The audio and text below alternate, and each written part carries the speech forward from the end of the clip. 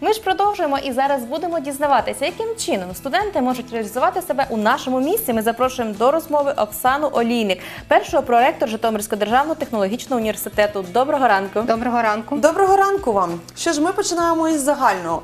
На вашу думку, скажіть, будь ласка, чи можуть сьогодні студенти самореалізуватися?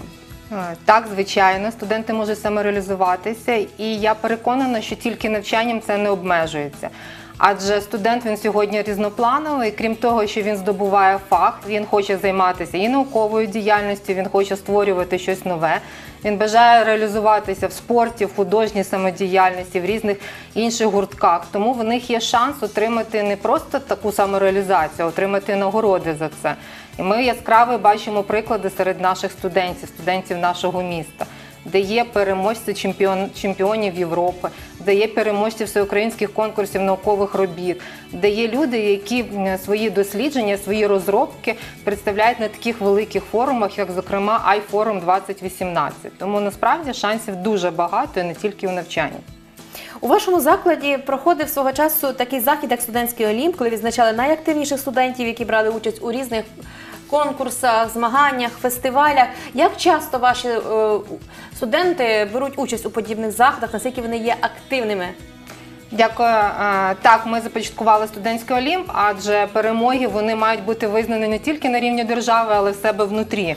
Тому, звичайно, що моральне задоволення то класно, але ми вважаємо, що має бути певне і е, матеріальне заохочення. Тому всі студенти, які перемагають протягом року, а це приблизно 30 студентів, які перемагають у всеукраїнських конкурсах наукових робіт, ще 20 студентів, які перемагають в студентських олімпах. Більше 20 студентів, які є чемпіонами Європи і України в спортивних змаганнях, і приблизно 20 студентів, які є переможцями всеукраїнських міжнародних співочих, зокрема конкурсів, вони щорічно нагороджуються, в тому числі і такою, ну як на мене, навіть вагомою премією ректора. Щорічно відбувається. От в цьому році це буде 1 червня. Вони також в святковій атмосфері будуть з рук ректора отримувати відповідні нагороди. І багато вже таких призерів, скажімо так. А, ну я Претендентів можу на нагороду. що на сьогодні вони щодня доповнюються, але на сьогодні це майже 70 осіб.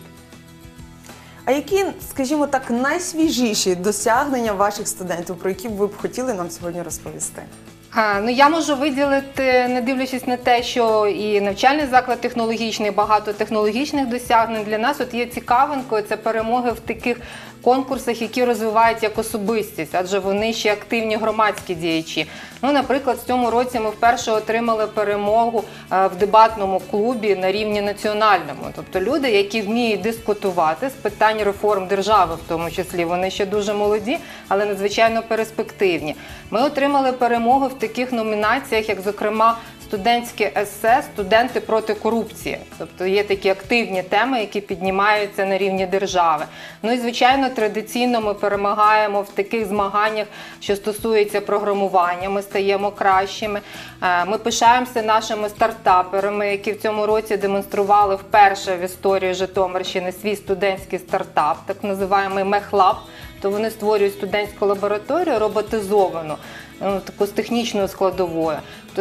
І, звичайно, економісти, екологи нас завжди радують. Але це такі найбільші досягнення і не дуже типові для нас. А чи не заважає навчанню така активність? Адже основну програму ніхто не відміняв. Е, Можу точно вас переконати, що не заважає. Я можу назвати є такий у нас студент Петросян, який в минулому році здобув на майже три призових місця на олімпіадах, на конкурсах робіт по програмуванню, по it технології по кібербезпеці. В тому році він отримав ще до того премії, таку річну премію або стипендію ректора.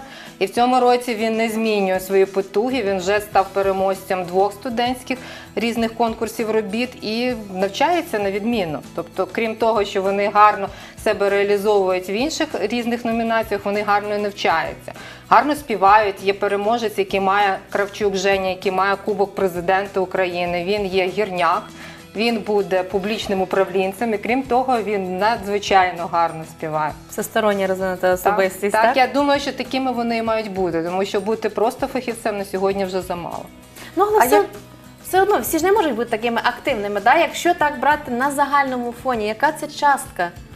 Ну, всі точно не можуть бути активними, але те, що вони приймають участь, вони не завжди стають переможцями. Але приблизно в науковій роботі приймають участь десь 20-30% активних студентів.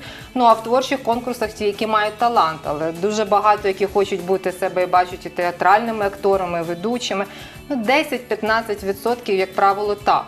І нас дуже радіємо ми за спорт, да, тому що є дуже гарна тенісна команда з настільного тенісу. Цікаво, що спортом займаються не тільки студенти, а й викладачі. У нас декан Фікта ну, дуже активно займається бомбінтоном. Він є майже переможець обласних різних змагань.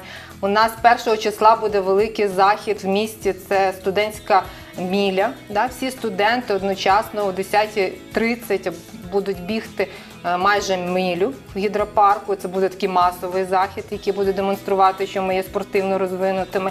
Тому, звичайно, їх можливо небагато, але вони дуже зараз активні. Вони хочуть встигнути все. А як ви заохочуєте нових студентів до власне таких досягнень? Чи заохочуєте взагалі? Якщо так, то як? Ну, Ми дуже зацікавлені, що були студенти розвинуті, приходили до нас не тільки за здобуттям освіти, але й реалізовували себе в інших напрямках. Тому, звичайно, ми навіть на початкових етапах, от у мене особисто була вже розмова з декількома абітурієнтами, які мають досягнення у волейболі, у тенісі, у е, хокеї на траві. І ми особистою розмовою переконуємо, що їм тут буде добре, тому що є відповідні умови, створені інфраструктурні. Один з найкращих залів для настільного тенісу з професійними столами є у нас в університеті. Тому створюючи умови, ми створюємо можливості. Знов таки, 1 числа ми відкриваємо оновлену актову залу з усім обладнанням, яке дає змогу розвиватися і в напрямку творчості. Тому гарні приміщення, гарні викладачі, гарні майстри своєї справи. Я думаю, що це більше ніж переконання, що треба навчатися і розвиватися у різних напрямах.